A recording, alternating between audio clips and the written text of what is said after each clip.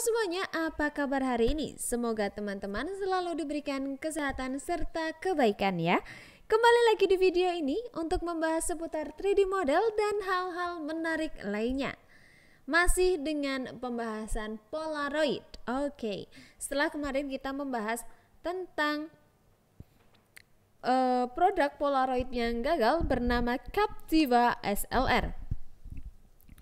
Yang itu juga mencontoh pada kamera digital yang baru in. Ternyata masyarakat sekitar sudah terdoktrin dengan Polaroid adalah kamera yang langsung cetak. Dan karena itu Polaroid merugi se mencapai dan karena itu Polaroid, Polaroid mencapai kerugiannya di angka 2,3 triliun dan Polaroid bangkrut dan tutup pabrik ternyata terakhir pada tahun 2008. Akhirnya Polaroid menyerah pada keadaan. Produsen kamera produsen kamera itu sudah menyatakan bangkrut sejak 2001. Namun, setelah itu banyak yang mengambil alih asetnya. Tercatat dari media 2001 hingga 2008 ada tiga kali pergantian pemilik. Sayangnya, pergantian pemilik tidak mengubah nasib Polaroid hingga memutuskan tutup pabrik pada tahun 2008.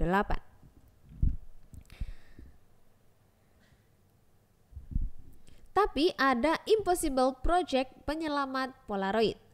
Jadi saat Polaroid menutup pabrik di Belanda pada 2008, ada salah satu penjual grosir Polaroid yang ingin tetap bertahan. Alasannya dia memiliki basis komunis pecinta kamera tersebut. Lalu dia juga bisa meningkatkan penjualan film agar bisnis ini berjalan. Akhirnya lahirlah Impossible Project untuk membangun Polaroid kembali. Hasilnya pada 2017, belum lama ya, Impossible Project mengambil sisa-sisa dari Polaroid yang tutup pada 2008. Mereka kembali membangun Polaroid bahkan meluncurkan jenis kamera baru. Kini, Polaroid berada di bawah perusahaan bernama Polaroid Originals. Bahkan, mereka juga memproduksi barang selain kamera seperti scanner untuk iPhone dan mesin pencetak three dimensi atau tiga dimensi ya. Ternyata banyak fakta-fakta di balik Polaroid ya.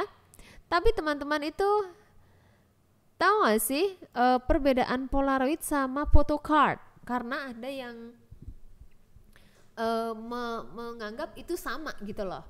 Banyak orang awam yang mengira kamera Polaroid itu kamera instak dan sebaliknya gitu ya. Padahal Polaroid merupakan nama sebuah perusahaan yang memproduksi kamera langsung jadi, sedangkan Instax merupakan kamera langsung jadi buatan perusahaan Fujifilm.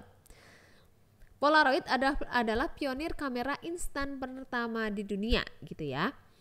Namun, seiring perkembangan kamera digital, Polaroid harus mengakui kekalahannya dan gulung tikar tahun 2008. Apa aja sih perbedaan kamera Polaroid dan kamera Instax? Polaroid tidak akan menyala jika tidak ada filmnya karena baterai Polaroid menyatu dengan filmnya. Sedangkan kamera Fuji Instax perlu 4 buah baterai double A. Itu perbedaan pertama ya. Perbedaan kedua, harga film kamera Instax Instax berkisar di 100.000 per 10 shot. Kamera Polaroid klasik ber, sendiri berkisar di 450.000 per 8 shoot. 4 kali lebih mahal daripada harga film Instax. Hmm, cukup mahal ya. Mahal banget. Yang ketiga, Polaroid memutuskan untuk menghentikan produksi pada tahun 2008. Sedangkan kamera Instax baru saja meluncurkan jenis kamera Instax yang baru yaitu Instax SQ6 pada Juni 2018 ya. Lalu kualitas warna yang dihasilkan uh, oleh Instax dan Polaroid juga jauh berbeda. Kalau yang dicari adalah gambar mini-mini dengan warna yang vivid keluar mendekati atau sama persis dengan aslinya, maka Instax yang kamu butuhkan. Tapi kalau kamu mencari tone warna yang lebih artsy dan eksploratif, kamu pasti dying to the bone. Sukanya sama hasil image-image Polaroid. Karena udah nggak diproduksi lagi dulunya frame foto Polaroid, itu hanya tersedia dalam warna putih, sedangkan Instax seiring berkembangnya teknologi dan inovasi, Instax menawarkan berbagai jenis varian gambar atau pola pada framenya. Dan itulah beberapa perbedaan antara Polaroid dan uh, kamera Instax ya. Saya pikir juga waktu dulu dulu dulu banget Polaroid ya sama sama photocard gitu ya. Jadi ada temanku nyetak foto. Dia nawarin kan ceritanya e, kak ayo cetak foto polaroid gitu. Terus aku lihat hasilnya. Aku dalam hati bilang ini kan sama aja kayak foto card nggak sih bentuknya sama. Bukan polaroid ini namanya aku dalam hati. Karena aku punya foto polaroid gitu loh. Aku jelas punya foto polaroid. Polaroid itu memang fotonya agak lebih besar. Ya nggak sefoto card yang bisa kalian gantung-gantung itu di di apa namanya lampu yang kedip-kedip itu loh. Bukan se sekecil itu gitu loh.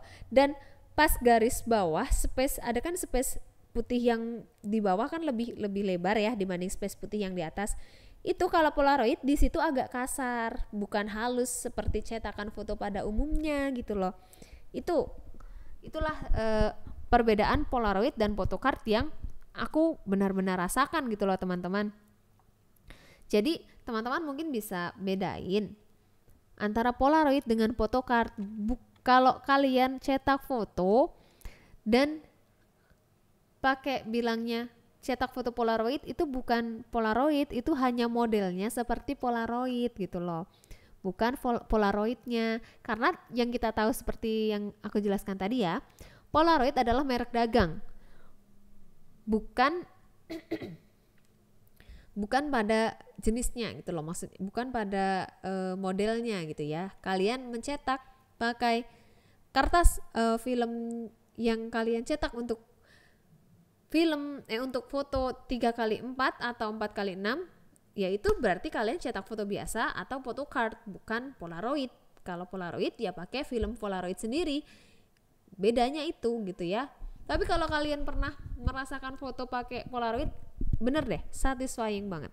Keren banget karena begitu klik keluar. Tapi ya kalian harus pose sebaik mungkin seperti itu ya karena cukup mahal filmnya cukup mahal. Jadi kalau satu kali klik kalian harus benar begitu loh teman-teman.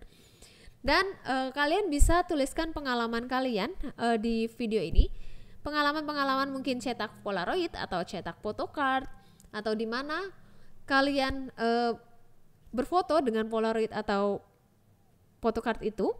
Jangan lupa juga untuk like, comment dan subscribe video ini sebagai bentuk support teman uh, support teman-teman terhadap channel ini agar kita tetap semangat memberikan konten-konten menarik dan bermanfaat lainnya. Dan jangan bosan untuk mendengarkan mengoceh saya yang kadang-kadang gak jelas. Sampai jumpa lagi di video selanjutnya. Bye bye.